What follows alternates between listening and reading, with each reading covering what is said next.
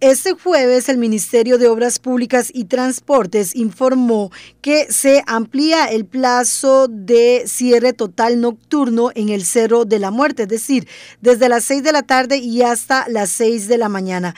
Este cierre comprende desde el lunes anterior y hasta el 25 de noviembre, esto como una manera preventiva debido a la cantidad de aguaceros que se han reportado y la saturación que existe en los suelos. De ser necesario, podría estar cerrado también en horas del día. Esto dijo el ministro de Obras Públicas y Transportes.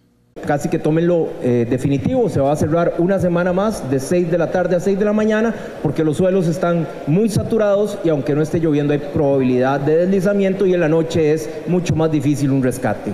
En general, presidente, eh, nos va a quedar mucho trabajo hacer el levantamiento de necesidades una vez que pase la emergencia eh, y a partir de ahí poder sacar cuánto nos va a costar recuperar toda la infraestructura y trabajar con las instituciones para ver de dónde sacamos dinero, pero no los vamos a dejar abandonados.